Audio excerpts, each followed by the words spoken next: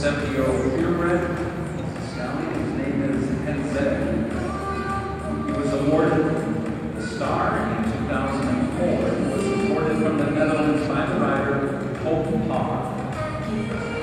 He is a working stallion. During the non-breeding season, he competes in dressage. He is registered with the Dutch FES and the North American Association. You can see and learn more about magnificent horse at. From records in the past, we know that the Friesian horse of old was very, very famous. They once carried knights into battle, and in 1826, Hungarian King Louis II used heavy Friesian horses in battle against the Turks. In 1881, Tristan Sons founded their own base funeral business with Friesian stallions as the whole as these horses. During the Victorian days, more than 700 horses were employed in funeral business in the area of London alone. Friesians were imported in North America as early as the 17th century.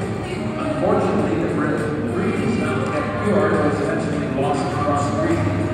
The Friesian breed returned to North America in 1974, where its numbers have been increasing ever since. There are about 40,000 registered Friesians worldwide,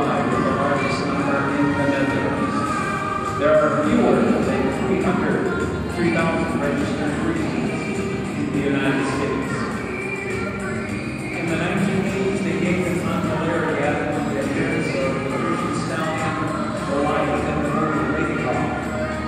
They have since been featured in movies such as Eragon, 3000, Alexander, Mel Gibson wrote a in the movie Braveheart. Friesians are generally between 15.3 and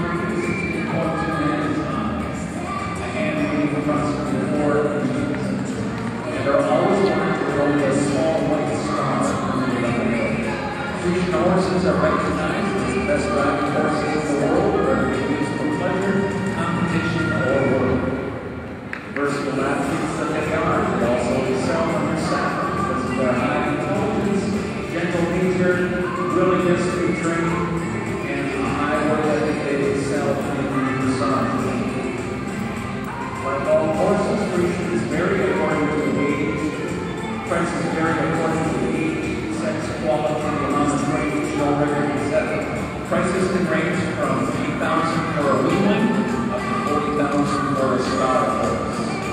Moves down to the rarity, frequently carry six figure price tags.